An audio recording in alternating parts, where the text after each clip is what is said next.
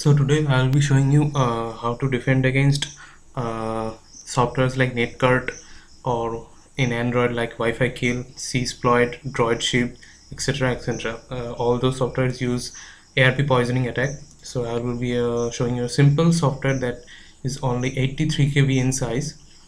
With that you can uh, defend uh, against all of that. So let's start. I provided a link in the description uh, of this software or a tool you can say. First of all extract it.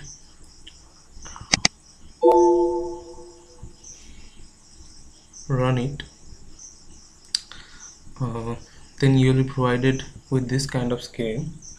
Uh, so what you have to do now is uh, fill up all the information.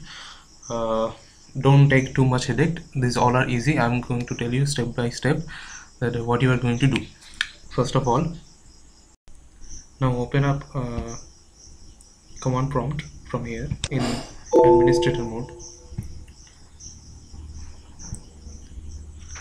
Type ipconfig space slash all. So you will be provided with lots of information. Don't worry about that. Look for wireless LAN Wi-Fi adapter Wi-Fi so here the physical address is your Wi-Fi MAC uh, your uh, PC's MAC address. And IPv4 address is the uh, your local address local IP address. This 8888 uh, appearing under uh, DNS server is your subnet mask. So we are going to put that information one by one from here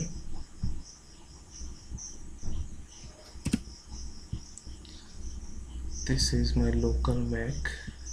I put it here. This is last digit is 6 and my gateway IP is appearing here 192.168.0.1 so this is the same I'll be having here.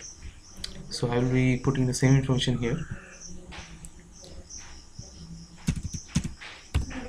6 and here would be this so I have filled up all the information. Only remaining is that the gateway MAC address. That is the MAC address of my router. So that is also here. Look for ethernet adapter ethernet. Okay.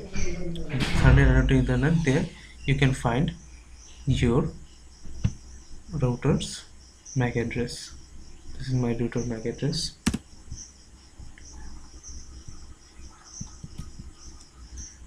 I have put it here. Okay make sure there is no space. Otherwise it will show some error or might not work. So here is the 8888 my subnet mask. Okay. Uh, uncheck this option remote control. Okay. Uh, if you don't know what is remote control or something like that is otherwise you can go for that so everything is almost done. So what you have to do is click ok. Okay uh, I missed one thing that is choosing the network adapter. That is click on change. Now look for your local IP address. That is 192.168.0.6 in my case so I'm choosing that one. That will be your uh, adapter. Okay so I've chosen the should work now. Yes it's working. Uh, now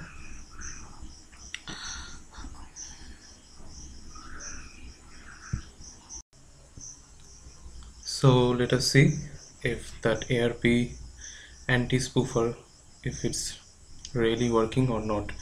I'm going to uh, do some spoofing from my mobile on my laptop. Let's see if that can defend and detect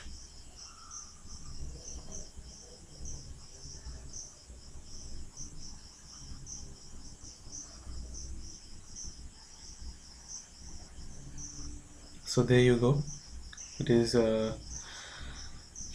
it is detected that that someone is spoofing with um, IP address and MAC address of the attacker and it has started the anti-spoofing.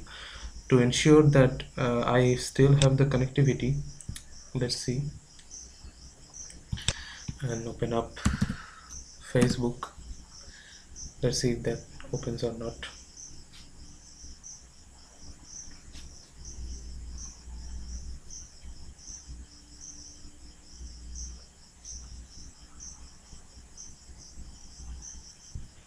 Simline seems like it's working but the I've still keep spoofing it.